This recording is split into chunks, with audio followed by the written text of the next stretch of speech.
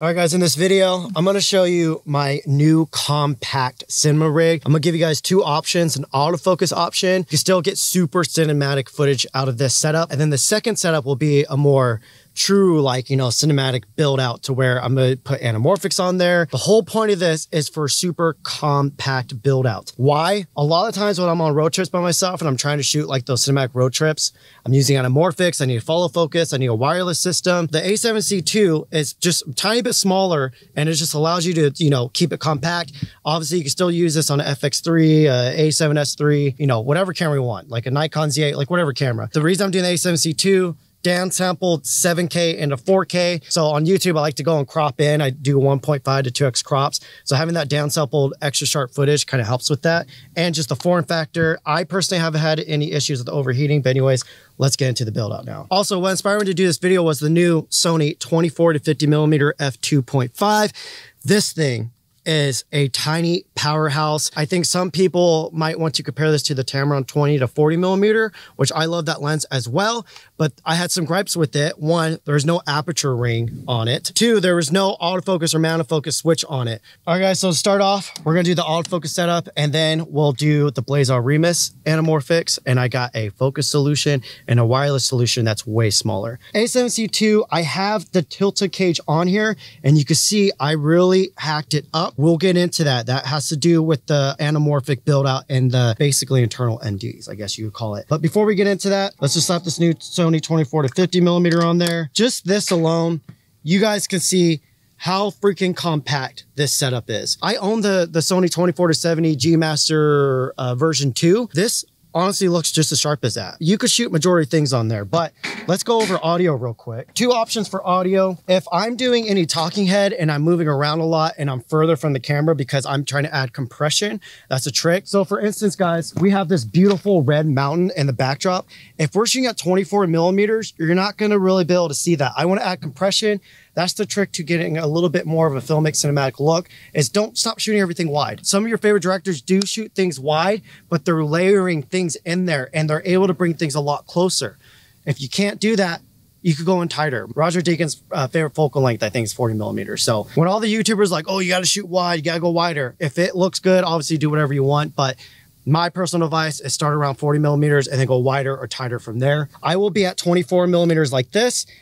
And if I'm doing this, and again, I'm just, my main point of the video is like to, to pass on information or anything like that, I'm going to use this Sony. I think this is the B1M mic. What do I love about this mic? There's a few things. One, no cables needed. I hate cables. Anytime I could get away from cables, I'm going to. This electronically connects to your Sony. So when you adjust the, the audio's levels in the camera, it's basically communicating with this. Second thing, which I think this is more important, a lot of the time, say if we're shooting BTS or I'm trying to document a process, right back here, we can change the dynamics of the mic. So right now, this is set as like a, a, standard shotgun mic. You can see the little circle here. Everything behind the mic, it's going to cut out. And then we have this middle option to where it's going to collect all the ambience that's basically from this point out. But a lot of the times, if I'm trying to shoot something and I'm trying to explain something and I'm back here, the mic's not going to catch this. Uh, right now on our BTS camera, we're using the Sennheiser mic.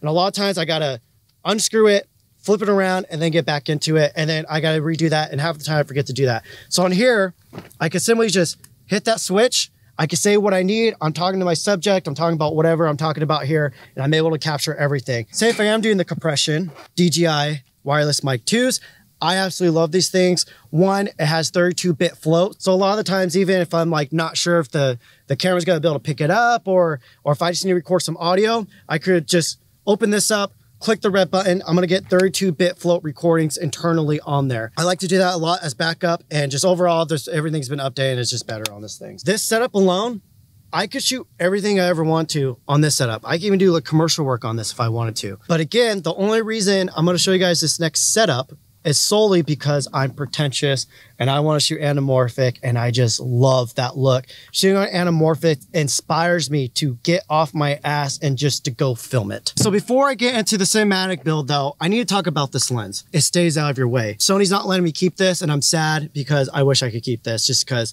again, look at this setup. First off, we have an aperture declick. This is very important. I even had my buddy Luis helping me film another review and we're going in and out of dark light and really harsh light. So he was able to just use the aperture dial like this and feather the exposure as needed. But if you use this for photography, you can turn the declick on. We do have a custom function button on here. I personally don't use these on any lenses really. Uh, if I did use them, maybe I use them to like turn on focus peaking. Actually, I should maybe do that. I think I will do that. We have the autofocus and mount focus switch. This is super important. Autofocus on Sony cameras are amazing, but sometimes you want it to do something that, you know, a computer just can't do. When you go to 24 millimeters, it does extend over here. When you go down to 50, it goes and tucks in right there. So when it's in the bag, you know, at this form factor, super tiny. If you're gonna be at 24, it does extend a little bit. This is still insanely tiny though. So like who's this lens for? I think if you've been salivating over the 24 to 70 Mark II and you know, you don't really care about the extra 20 millimeters on the end, which I don't think is that big of a deal, I think this lens is a, a no-brainer. 24 to 70 Mark II is a G Master lens. This is a, a, a, Sony G lens and it's holding up. Let me show you the parts that I'll be using. I'll be using the Mofage Poco VND. This is the main reason I had to chop up the cage purely just to get that to, to clear. From there, we have the Accsoon. This is the CineView Nano. Previously, I was using the DJI wireless monitor, which I still love that setup. But for solo stuff, I'm trying to keep it compact. That thing's pretty big. And then we have the Tilta Nano 2 focus motor. The reason I like this is because I could power it via USB-C. You might be like, what am I gonna plug it into? Let's get into it. The Poco VND, this thing is amazing. If you're using PL lenses, this just makes your life way easier. They're pretty affordable compared to the competition and the quality on them is amazing. After I cut that down to have clearance so I can actually rotate the VND, I went and chopped up the top a little bit. So now I could just take it off. This is the Tilta cage. I had to take an angle grinder to it. If you guys want to do that to do a similar setup, go ahead. It might be easier if you just do the Sony FX3 with the Kondor Blue cage. But again, this is for A7C2 owners or people contemplate getting this. Let's do our wireless system here. So usually on a wireless setup, you know, you need a transmitter, you need a receiver, and connect to that receiver, you need an external monitor. Uh, when I'm traveling, it's that's kind of the worst part about having to film myself in a cinematic, like anamorphic way. I'm always having like have an extra monitor and carry it on me, and and then like I have to try to hide it in the shot if I'm doing something crazy. So now with this, basically what this does is this creates like a wireless Wi-Fi connection to your iPhone or to your iPad. I could set up my shot there, get it composed, make sure my mic levels are good. I could just put my phone in my back pocket and I'm starting to record and there's no monitor in sight or anything like that. There's no monitor, giant monitor hanging on here at the V mount. There's none of that that you need for this setup. I absolutely love this. It just connects through a NPF battery right here. I did a SmallRig NPF because you could charge it via USB-C and my uh, Ford Bronco over here, there's tons of different USB-C ports and adapters that I have. And I usually have a power station in my truck too. How I did this is when I went and grinded down this cage over here, uh, I had to grind down the two quarter uh, 20 threads over here, but I left the bottom one and there was just enough clearance to where I could keep that on there. There's literally probably like a millimeter left of metal on there. So from there, let's get the lens on before we go to the focus motor and I show you how I power that. These are currently my favorite go-to anamorphics. These are the Blazar Remus 1.5X. These are great for any sensor that only reads out in a 16 by 9 output. The reason I like these for, you know, almost everything right now, especially for solo run and gun, you know, YouTube video type stuff, look how small this is. Look at this. This is the 24 to 50, the new one. This is the Blazar Remus 45 millimeter. I'm just gonna go with the 45. I use the 45 and the 65 millimeter the most. The 45 sometimes feels a little bit too wide, but obviously if you're, uh, you know, shooting yourself on a road trip or anything like that, a 45 for like inside car stuff or whatever, gonna be the go-to. So before we get any further, look at this setup, guys. Look how compact this is. For this setup, you can literally shoot, you know, super filmic, cinematic, cinema quality type videos. Let's get into the focus solution. Once you start going and trying to do creative setups or anything like that, and you're getting away from your camera and you're having to guess where the focus is, it's a nightmare. Little things like that is enough to stop me from, you know, picking up the camera and actually using it. I'm using this SmallRig. It's a NATO rail into a 15 millimeter rod support. This is the Tilta's rod that comes with the focus motor. I'm just going to plug that into the Tilta focus motor. Now you're to be like, where, where are you going to plug that in at? Like there's no battery on here. This Accsoon CineView Nano has a 5 volt USB-C output. This is crazy. That's gonna power the motor. That's pretty freaking wild. I'm gonna just clean it up a little bit. Let me see if I can. Wireless focus control. Now I'm gonna open up my Accsoon app here. So guys, I'm just gonna go to my Wi-Fi on my phone. Oh, it's called a Cemu. You guys can see in the Accsoon app, we have D-Stretch. So I'm gonna keep clicking this. We're on 1.5x.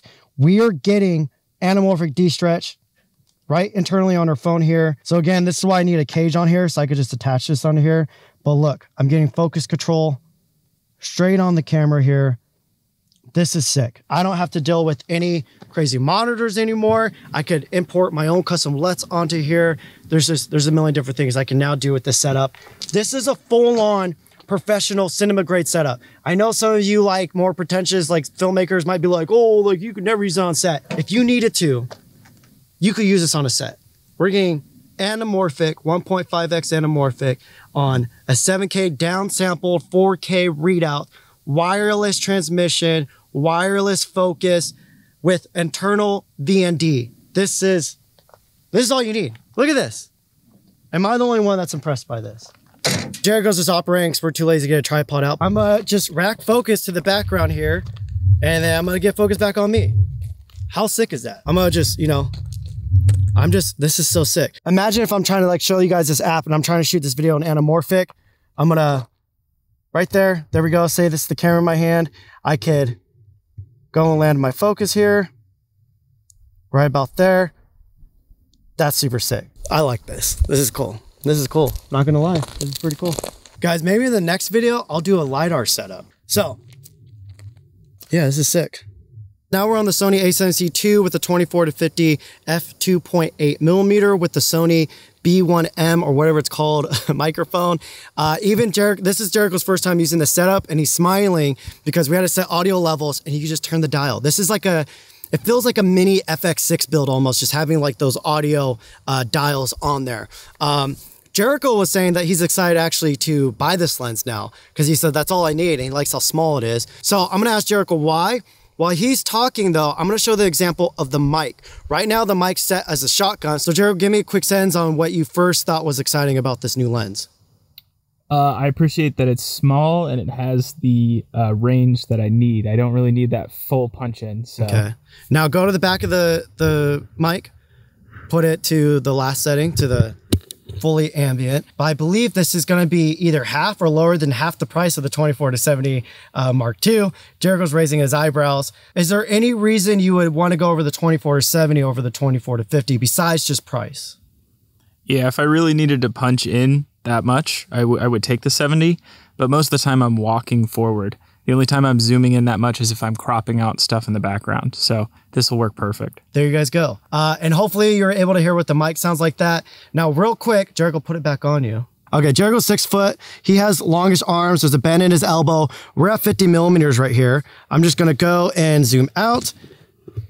This is it at 24 millimeters here. And again, guys, we're on the mic, we're on the ambient mode, so you should be able to hear me. I'm gonna change it though. Now we're in the shotgun mode, so I don't know how well you're gonna be able to hear me now. Uh, but yeah, Jericho, what do you think of this this compact thing here? Uh, yeah, it's really nice. I think. Oh yeah, that's some good room. I mean, I don't do selfie stuff, but if you wanted to, this yeah. would be perfect. Yeah. Again, it's a lot lighter. You're getting that range. I think the only thing that could be a downfall is maybe it's too small. You know, sometimes the uh, oh the clients the reps yeah. like the big lenses. Yeah. You know, I'll put a matte box. Yeah, put a they'll love it. Put a little mini matte box on here. Yeah. Also, guys, I have to mention we're using uh, the PolarPro VND, the Maglock one. We've actually dropped it a few times, and it looks pretty battle scarred up already. um, but the glass is not broke. PolarPro VND is a tank of a VND. anyways, I'll stop ranting. Okay, that's it. We're done.